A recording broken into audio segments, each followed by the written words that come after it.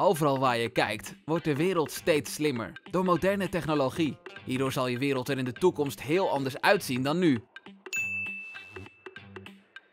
Als je zelf de maker van die technologische toekomst wil zijn, moet je leren denken als een uitvinder, zodat je problemen kunt oplossen, logisch en creatief kunt denken en graag samenwerkt.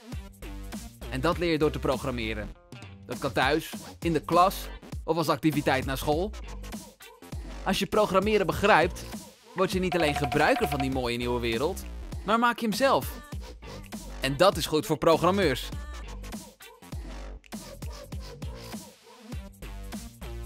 Maar ook voor de fietsenmaker en de dierenarts.